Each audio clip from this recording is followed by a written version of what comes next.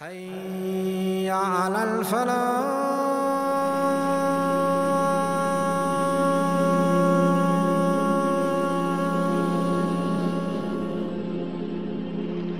Allah subhanahu wa ta'ala created us in this world for a very, very, very short time. And He subhanahu wa ta'ala said in the Holy Quran, the purpose of this life and death, the purpose of this creation is for us to be tested. Who of us will have the best of deeds? Who of us will follow the path of Allah and His Prophet sallallahu alayhi wasallam? And who will get too busy and too distracted by the luxuries and beauties of this world and forget about the hereafter and forget about Allah subhanahu wa ta'ala. And the Prophet sallallahu alayhi wasallam warned us and said sallallahu alayhi wasallam, Verily this world is beautiful, green and alluring, attractive. Allah subhanahu wa ta'ala has made you generations to follow each other in this world for Him subhanahu wa ta'ala to see how you will act. What will you do? Beware of this world. Nowadays, my brothers, there's one very, very big problem we are facing. This big problem that is widespread is love and attachment to this world and preferring this world over the hereafter. When you ask people in the Ummah of Muhammad sallallahu alayhi wasallam, and when you look in depth, you will find that people deep down in their hearts, they have a soft heart for Islam. Soft heart for deen. There's khair and goodness in all the hearts. But there's this major problem. People are too busy for the deen of Allah. Everyone is distracted, taken by this world and its luxuries, you know, responsibilities. And slowly, slowly, shaitan has fooled many people in this ummah of Muhammad sallallahu alayhi wasallam. Now there's no time for akhirah, no time for deen, no time for the mosque, no time for Quran, no time for da'wah, no time for qiyamul layl, no time for the dhikr of Allah subhanahu wa ta'ala. People are too busy for the deen of Allah subhanahu wa ta'ala. And Allah subhanahu wa ta'ala stated this as a fact. Verily, you prefer the, this worldly life, although the hereafter is better and more lasting. Verily, you love the quick life, the one in your hand, and you neglect and forget about the hereafter. Verily, these people, they love this, they love this quick and early, you know, the first life. And they forget behind them a very, very heavy day, judgment day, my brothers. So we say the Muslim has to fix his direction. Direction is the most important thing in our deen, my brothers. If the person focuses on the hereafter and his direction is the hereafter, everything in deen becomes clear. And dunya follows straight away. But if direction becomes worldly things, if direction and dreams and targets and concerns in the morning and the night all become accumulating money and building and buying and selling and businesses and marriage and wife and kids, which is all halal, but it should never distract the person from Allah subhanahu wa ta'ala. The Prophet of Allah sallallahu alayhi wasallam was once passing by the market, him and his companions radiallahu anhum. In the hadith, people are on both sides, you know, of the road, buying and selling, and the environment of the market is usually a worldly environment, like, you know, khalas, there's love and attachment to dunya, people are there for profit. So he sallallahu alayhi wasallam wanted to teach his companions a lesson. So he sallallahu alayhi wasallam spotted on the street a dead sheep. It had very, very, very small ears, which was a defect at the time. So he sallallahu alayhi wasallam grabbed that sheep with its defective ears and said to the Sahaba radiallahu anhum, who will buy this sheep from me for one silver coin? Sahaba radiallahu anhum said, Prophet of Allah, yani, why would you buy something as such? Why would we need it? So Muhammad sallallahu alayhi wasallam went a step further and said, Who will take it home? Don't worry, don't worry, you don't want to pay the silver coin? No problem. Who will take it? But Prophet of Allah, if it was alive, it's defective. It's something is wrong with it. How about when it's dead, Ya Rasulullah sallallahu alayhi wasallam? فقال صلى الله عليه وسلم والله this world with all its beauties and luxuries is so insignificant in Allah's sight exactly like this sheep is insignificant to you what does a dead sheep mean to me and you? It means nothing. It has no value. Allah subhanahu wa ta'ala deals with this world as such. قال صلى الله عليه وسلم If, it's not the case, but if If this world was equivalent to the wing of a mosquito in Allah's sight, subhanahu wa ta'ala, He would have not given an infidel a sip of water in it. But this world is less valuable than the wing of a mosquito in the sight of Allah subhanahu wa ta'ala. and if you ask any Muslim in our time, brother, sister, what do you prefer, the dunya or the hereafter? Everyone says, I've never, in all my religious life, I've never met a person who says, I'm a man of dunya. Everyone says, no, hereafter. Of course, people of the hereafter. So we say to these brothers, there's no point. We will never cure a disease unless we admit we are sick. You know, if you go to a, someone who is very, very, very ill, and you want to treat him, but he is living in denial.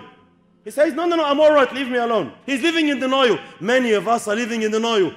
Saying, No, no, no, alhamdulillah, everything is all right. I am better than others. Alhamdulillah, I pray. Alhamdulillah, I fast. Alhamdulillah, I pay my zakat. We say, Brother, it's not only about this, it's about direction. It's about sacrifice. It's about how much time, how much focus do you have on your hereafter, and how much focus you have on your dunya. What is more valuable in your heart? If you lose something in this world, a simple example. A person leaves his house one morning going to work. He goes downstairs. He, find, he finds out that his car got stolen. Inna lillahi wa inna ilayhi raji'un. How upset and disturbed will this person be? How disturbed will he be for the rest of the day? Wallahi, some people for the rest of his life, every time he remembers that incident, he says, Oh, if I only get my hands on that thief. You know, he's very, very angry, very disturbed. But the same person who claims he loves Akhirah more, if he misses Fajr Salat, how disturbed does he get? How much guilt does he feel in his heart? How long will that feeling of guilt last? Some people, he won't even feel guilty. Some people, maybe he'll feel a bit of guilt and say, Khalas, Allah Ghafur Rahim finished. Because Akhirah is not as valuable in his heart. The Prophet of Allah sallallahu wasallam says, the two rak'at, not Fajr Salat, the two rak'at before Fajr, the Sunnah of Fajr, is more valuable than all the world and what it contains. These are the words of our Prophet. But is this meaning in our hearts? Really in our hearts? Are the two rak'at Sunnah of Fajr more valuable than the billions of this world? So if I come to you and say, brother, please miss the Sunnah of Fajr, don't pray today the Sunnah of Fajr, and I'll give you 1,000 riyals. What will you say? It's a sunnah. There's no, there's no problem. So in your heart, the thousand riyals are more valuable than the sunnah of Fajr.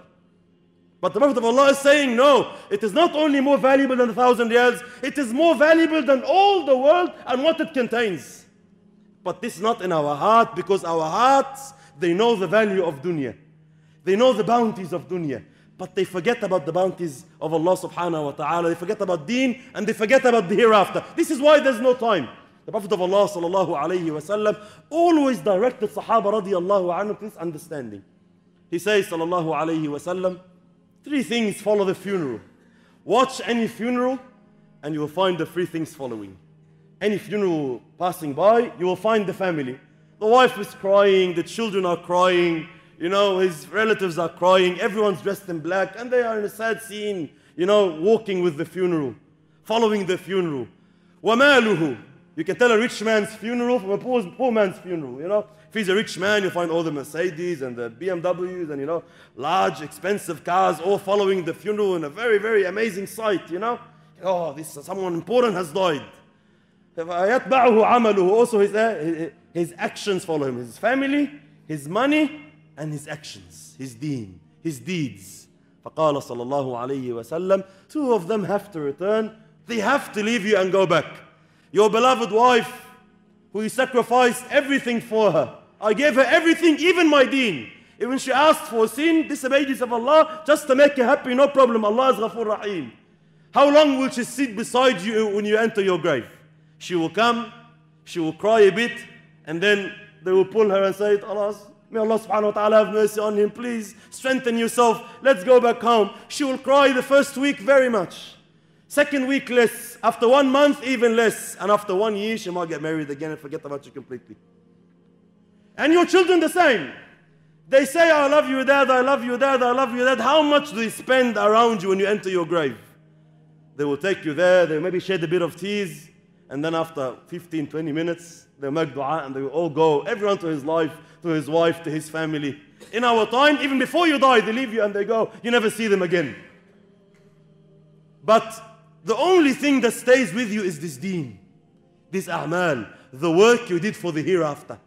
This is what stays with you. This is where the Sahaba radiallahu anhum were focused, and this is what we are neglecting. This is what we have no time for. Every Muslim I've met in my life says he loves the book of Allah subhanahu wa ta'ala. But put him to the test, or if you love the book of Allah subhanahu wa ta'ala, how much Quran do you read in your day and night? How much time do you open the book of Allah and enjoy hearing the words of Allah subhanahu wa ta'ala? He says, Ah, I love Quran, but I'm too busy. I have no time. Say, brother, if you love something, you make time for it. When you love something, it takes priority in your day. Likewise, if you love akhirah, if you love the hereafter and you're focused on the hereafter, you make time for the hereafter. But nowadays, no, we are too busy for the hereafter. Look at our mosques. The ulama say, if you want to know the love of the hereafter in people's hearts, you want to assess a society, go to their masajid and see how much love these people have for the hereafter. Nowadays, you go to the masjid, see, mashallah, in Jum'ah, Allahu Akbar, the mosque is full, people are standing outside. But come Fajr Salat, come Maghrib Salat, come Isha Salat, and you find much less numbers. Where are these Muslims who claim that their love for the Akhirah is big? Their attachment is to the hereafter, their loyalty is to the hereafter. They are too busy accumulating worldly things and they do not respond to the call of Allah subhanahu wa ta'ala. Even though Muhammad sallallahu alayhi wa sallam, our teacher and our prophet, he said in the authentic hadith, if people knew the reward, the reward they will get from praying Isha in the house of Allah, they will come even if they had to crawl. If you knew the reward, but the truth is the value is not there. If a person really is attached to the hereafter, what is more important than this? So if I make an announcement here in Al Fanar that inshallah from now on there's surplus in our budget. So anyone who prays Fajr in the mosque, we will give him 200 riyals. Dhuhr in the mosque, 200 riyals. Asr in the mosque, 200 riyals. Five times salah, you get a thousand riyals in the house of Allah subhanahu wa ta'ala. Will anyone ask, is it fard? Will anyone say, uh, Sheikh, uh, yani, do I have to come? Wallahi al-azim, non-Muslim will line up. Non-Muslims will line up, say, Ashhadu an la ilaha illallah, Ashhadu Rasulullah. Why? Because people love this world, but they live in denial. They know the value of a dirham or a dinar, but they don't know the value of the hereafter. Had they been attached to the hereafter, they will never ask, is 27 times more reward a better offer or just one reward? They will never ask. This is why Sahaba radiallahu anhum never asked these questions. The Prophet of Allah prayed in the mosque, we pray in the house of Allah. But they are all signs that our direction are this world. When we wake up in the morning, the concern is dunya. When you come to sleep at night, the concern is dunya. Sometimes because of dunya, because of worldly things, we have a sleepless night. Sometimes, you know, you see a brother in the morning, his face is yellow, his eyes are red, you can tell he hasn't slept. Say, what's wrong, brother? He says, oh, I have a big problem. I had a fight with my wife, I had a fight with my children, or I'm in big debt. Everyone understands. Oh, may Allah subhanahu wa ta'ala make it easy for you, inshallah, we understand. But if you imagine if you see someone in the morning, his face is yellow, his eyes are red, say, what's wrong, brother? He says, oh, wallah, I was afraid of uh, hellfire, you know, so I stayed up all night praying. What's wrong with you, man? Relax. Take it easy. People don't understand him. Why?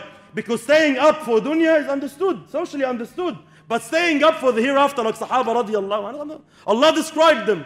Little of the night they used to sleep. Why? Because they are worried about the hereafter. They worried about the akhirah. In the last third, the third of every single night, Allah subhanahu wa ta'ala, when the last third remains, He calls out. Anyone has any need? Is anyone making dua? Anyone wants anything from me? And 99% of the Muslim ummah is snoring at that time. And then we wake up in the morning and we ask, where is the help of Allah? Why, is why are we such, in such humiliation? Such humiliation? What do you expect? Allah has been calling you for the past three hours and you have been snoring. And you want Allah subhanahu wa ta'ala to help you? You are the one that's negligent of Allah. You are the one that has no time for deen anymore. You are the one that's too busy accumulating worldly things and, you know, building and buying. And although Allah subhanahu wa ta'ala decreed all this will be destroyed, He subhanahu wa ta'ala says, Look at the true knowledge that Allah subhanahu wa ta'ala wants us to know. The sign of true ilm is to understand these verses. اعلموا, no, verily, no, that this world is but play, joy, entertainment, insignificant. Decoration. Everyone boasts, oh, I have that many kids, oh, I have that much money. Have you seen my car? Have you seen my house? Accumulating and competing in money and children. All of this. Allah saying, exactly like some rain that, you know, fell from the heavens. The farmers, when they saw the rain and they saw the vegetation, they got so happy. Oh, Akbar, look at the greenery, we are rich now. Then soon, this vegetation will turn yellow. They will all be destroyed absolutely temporary, not lasting. It is not real. Really, the hereafter is the real life. When the person dies, you meet Allah, what do you say? He says, I wish, I wish I worked hard for my life. He understood only then that his true life is the life hereafter, not this temporary, insignificant world that he got too busy in from the hereafter, got too busy accumulating, although Allah subhanahu wa ta'ala decreed it will be destroyed. Respected brothers in Islam, we have to come to terms with our own selves. Our ummah has a major disease love of this world and criticizing others. What are you doing about this deen? What are you doing about your own deen? What are you doing about your family's deen?